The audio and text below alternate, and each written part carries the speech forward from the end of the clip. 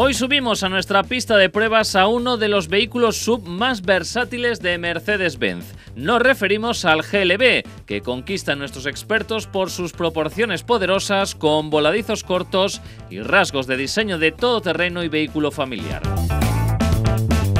Históricamente el GLB es el primer Mercedes en este segmento, disponible también con 7 plazas. El GLB tiene una batalla de 2.829 milímetros, 10 centímetros más que la nueva clase B.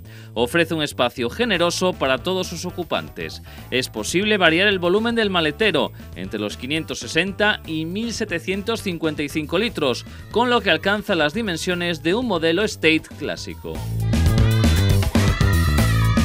Sus códigos de diseño exterior los marcan el frontal erguido, sus llamativos cromados de este acabado AMG Line y los hombros musculosos. Otras de las claves de su estética es el trazo ascendente de la línea de cintura a la altura del montante C.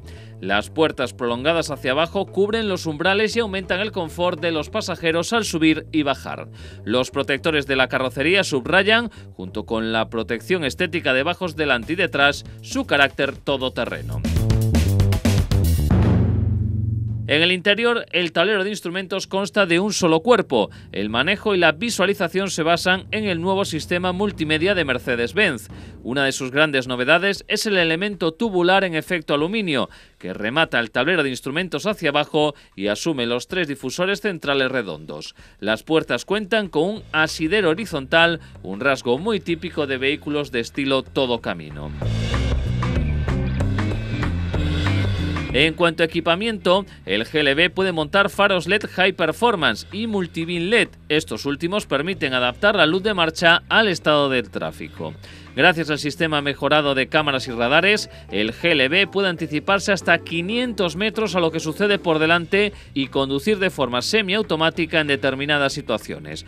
Por ejemplo, mediante la utilización de los datos cartográficos y de navegación, puede adaptar la velocidad por intervención del asistente activo de distancia antes de entrar en una curva, un cruce o una rotonda. A ello hay que añadir el nuevo asistente activo de dirección para cambio de carril. Nuestra unidad de pruebas es la 200D, la motorización turbodiesel de acceso de 4 cilindros y 2 litros que ha sido renovada por completo por la marca. En comparación con la generación anterior, se caracteriza por un aumento claro de las prestaciones específicas, una mayor eficiencia y menores emisiones. Está asociado a un cambio de doble embrague de 8 relaciones y la potencia que entrega es de 150 caballos.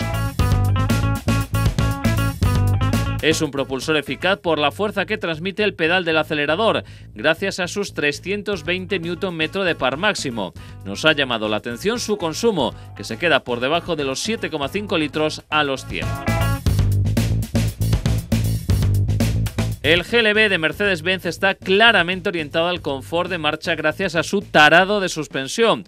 Equipa montantes telescópicos McPherson en el eje delantero. En el trasero trabaja con un eje multibrazo de resortes mecánicos desacoplado de la carrocería para evitar la transmisión de ruidos y vibraciones. Es un coche que a pesar de su altura y tamaño ofrece una gran sensación de seguridad a bordo, sin grandes oscilaciones en curvas pronunciadas o cambios de peso. Su dirección es precisa. Opcionalmente puede solicitarse con tracción total Formatic y amortiguación adaptativa regulable.